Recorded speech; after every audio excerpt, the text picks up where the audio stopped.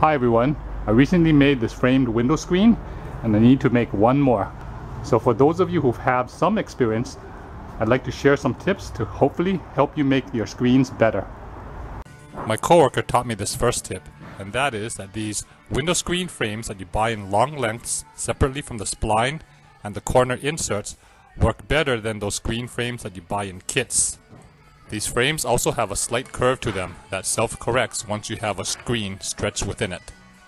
They're made from thicker gauge aluminum, which makes them more rigid, which helps them keep their shape when making larger screens. When making smaller screens, the kits work okay.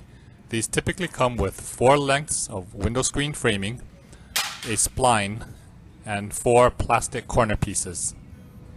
For securing the screen within the frame, I prefer to have one continuous length of spline travel around all four sides of the frame with the two cut ends of the spline meeting in the middle of one of the sides as opposed to the corner.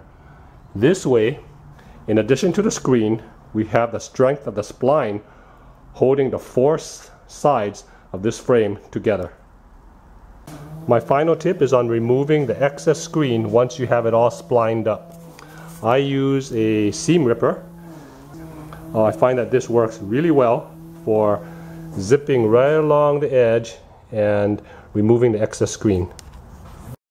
And unlike using a utility blade, as if I were to do this, I won't scratch the frame.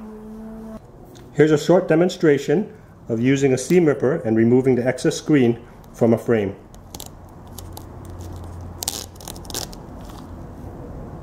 Here's the excess screen I just cut away, and here's my finished screen.